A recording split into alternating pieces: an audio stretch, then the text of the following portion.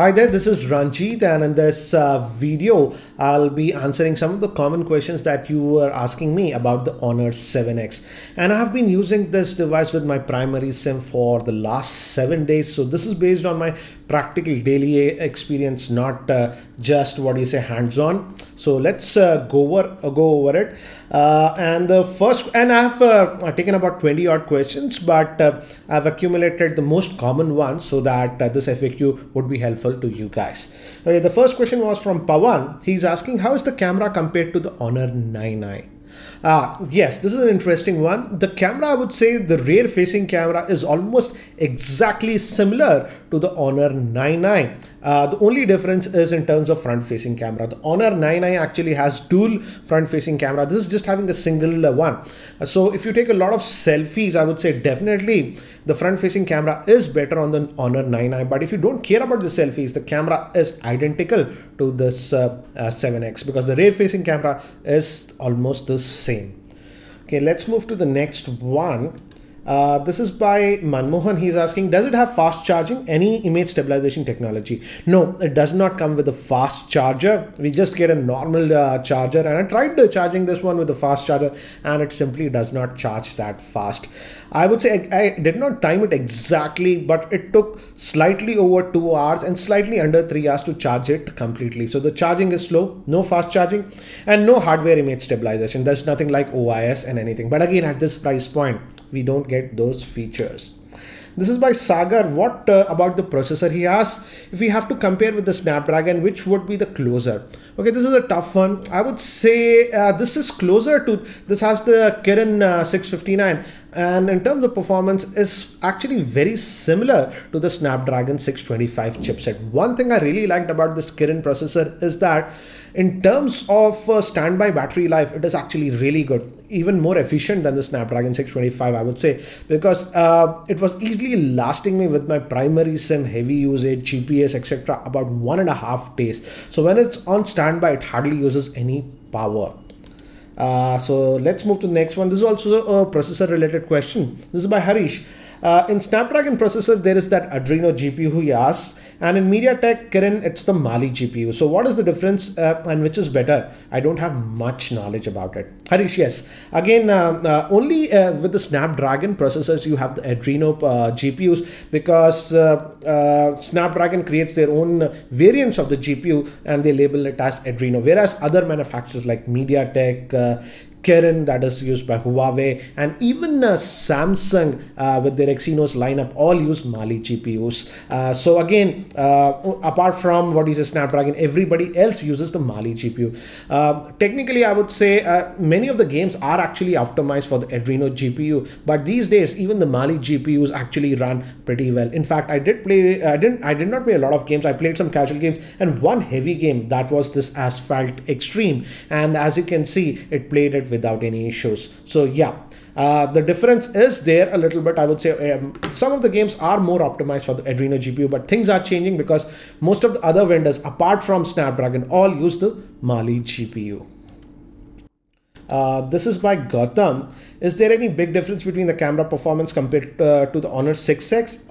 Uh, is it better than the Mi A1? I didn't do a side-by-side comparison with the Mi A1. The problem with the Mi A1 when I tested it earlier was that in artificial lighting and low lighting conditions, the camera performance was not good. But if we compare it with the Honor 6X, I would say you would not notice much of a difference in terms of camera performance. In fact, I would say it's almost the same in terms of camera performance compared to the Honor 6X. I hope it helps. Uh, this is by Anurag. He's asking, how is the sound output quality via headphone jack?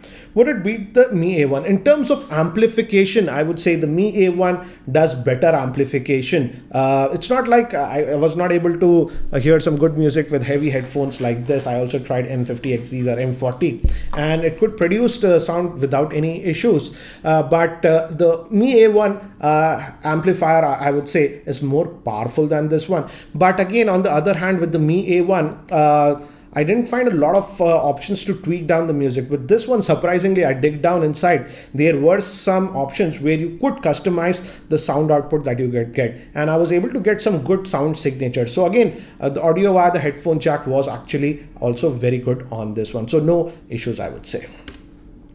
Uh, this is by Digit. He's telling, does the Honor 7X come with the gyroscope sensor? No, sadly, the Honor 7X does not have the gyroscope sensor.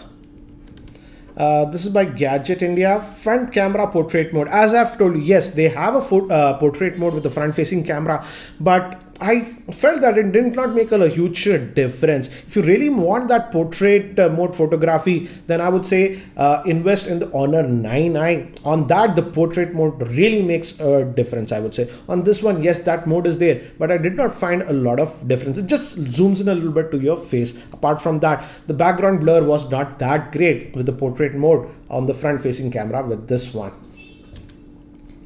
Uh, this is by Somen. He's asking how's the RAM management and how's the battery life. Uh, surprisingly, the RAM management was actually very well. The good thing is that it comes with 4 gigabytes of RAM, and I did not face issues of RAM management uh, with this device over that one week of usage that I've done till now. So RAM management, no issues. Battery life was surprisingly actually really good. This really surprised me. Even when I was completely on mobile data, for example, I was in Delhi for almost two days, and it was completely on mobile data. In fact, I also used hotspot and GPS and it could last the entire Delhi trip on a single charge. That is almost one and a half days. So the battery life is actually really good on this. The only con as I've mentioned, charging time is not that fast, but battery life, I'm actually really impressed with the battery life and the standby time that we were getting. So for even if you're sort of a heavy user, it'll easily last you a full working day. And for most of the users, it'll last about one and a half days per charge. And in terms of screen on time, I would say anywhere between five and a half hours to over six hours you can expect with this one. Uh, this is by Pranab. He's asking, uh, talk about the speaker loudness and the clarity. It just has a single speaker here at the bottom. So the output is similar to what other smartphones you see with the, what do you say, uh, single speaker. Uh, I would say it's slightly above average, not very, very loud, the loudest, but slightly above average. But again, it's a single speaker, no stereo setup on this one. Uh, this is by Ritesh. How is the call quality, speaker output, and battery? Okay, regarding the call quality, as I've mentioned, I had no problems with this one. I was mostly using this with Airtel 4G because I was uh, um, uh, traveling a little bit, uh, and the call quality was actually really good. I tested this in Hyderabad and even in Delhi, the cellular call quality was actually really good. The signal strength was also actually good on this one, and I did take quite a few calls on the speaker phone, and the other parties never complained uh, to me. So yeah, uh, the cellular uh, reception and the speaker output if you take uh, what do you say calls would be fine. Battery i've already mentioned. Now let's move to this one. This is by venkat. Does it have a physical led notification light? Yes it has a tiny physical led notification light and it glows when you get notifications and whenever you charge also it glows uh, this is by Saurav. Does it have uh, USB OTG functionality? Yes, it has a USB OTG functionality. So if you just plug in a USB OTG drive, it gets detected. You don't even have to install any third-party software for that one. So let's move to the next. This is by Dash. Which one is better, the Mi A1 or the 7X? And uh, if camera is my priority, portrait mode to be specific, uh, I really have to test uh, them side by side to see which one would be uh, better. I'll have to do that because uh, the portrait mode on the Mi A1 actually does uh, pretty good in outdoor lighting conditions when there is a lot of lighting. But in indoor lighting conditions, in artificial lighting and lighting like this, the Mi A1's portrait mode does not work that well. So I'll have to really test them side by side. I'll try to do that uh, I'll try to post that video sometime next week because again I'm traveling. Uh, this is by Swapnil. Uh, he's asking, should we add, more money to buy the Honor 9i? And what are the main difference between the 9 and uh, 7X apart from the front facing camera? You have answered it yourself. The only difference I would say practically is just that front facing uh, camera, which is slightly better uh, because of that uh, portrait mode and the proper dual camera on the 9.9. So if you don't care a lot about selfies, save your money and get this Honor 7X. I would say uh, that's a better bet because general performance and everything, it's almost the same. And uh, this question is from uh, uh, Jane, uh, Redmi uh, Note 4 and the Honor 7X camera performance. Obviously, the camera on this 7X is way better compared to the Redmi Note 4. No comparison, I would say. And uh, this is by Vishal. He's asking, how is the build quality and in-hand feel?